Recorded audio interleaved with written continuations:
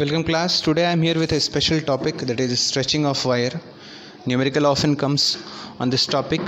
जब किसी वायर को स्ट्रेच कर देते हैं लेंथ और या डायमीटर या एरिया चेंज हो जाता है तो उसमें न्यूमेरिकल्स को कैसे सॉल्व करें, कैसे अप्रोच करें ठीक है एज्यूम करते हैं, एक वायर है, जिसकी इनिशियल लेंथ एल वन है इनिशियल एरिया ए वन है, उसको स्ट्रेच कर दिया ठीक है तो कोई नई लेंथ होगी उसकी एल टू कोई नया एरिया होगा ए टू इस कंडीशन में क्या होगा और न्यूमेरिकल को कैसे अप्रोच करेंगे, ध्यान से समझेंगे न्यूमेरिकल्स आपको आराम से फटाफट सॉल्व हो जाएँगे।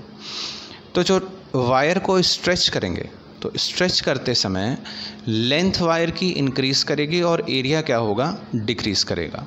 लेकिन क्या चीज़ कांस्टेंट रखना है अपन लोगों को? वॉल्यूम फिक्स रखना है। तो वॉल्यूम हमेशा क्या होगा?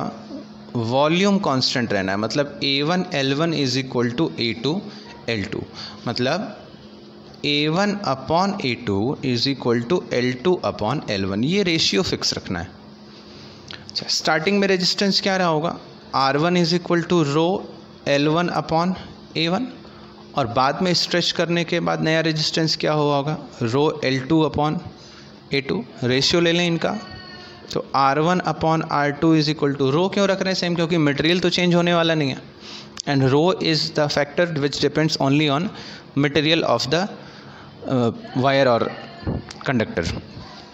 So it becomes l1 upon a1 into a2 upon l2 so we are having one ratio that is l2 upon l1 is a1 upon a2 so we can replace here. So r1 upon r2 can be written as l1 upon l2 and a2 upon a1 we have to replace. So a1 upon a2 is l2 upon l1 so a2 upon a1 is l1 upon l2 so, one relation comes that r1 upon r2 is equal to l1 upon l2 whole square इसको numerical में attempt करेंगे तो ये concept और clear हो जाएगा। बहुत ही शॉर्ट ट्रिक है।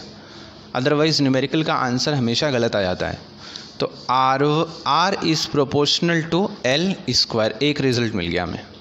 अब एरिया के टर्म्स में देखते हैं सेम रिलेशन को तो अभी यहाँ पे ए वन और ए टू को रिप्लेस किया था, अभी एल वन और एल टू को रिप्लेस कर देते हैं। तो देखिए एल एल और ए में इन्वर्स रिलेशन है। मतलब सेकेंड रिलेशन को देखते हैं। This is first part second part देखिए। R one upon R two is equal to A two upon A one into L one upon L two So L1 upon L2 can be written as what? A2 upon A1. So it becomes A2 upon A1 into A2 upon A1. So R1 upon R2 is equal to A2 upon A1 whole square.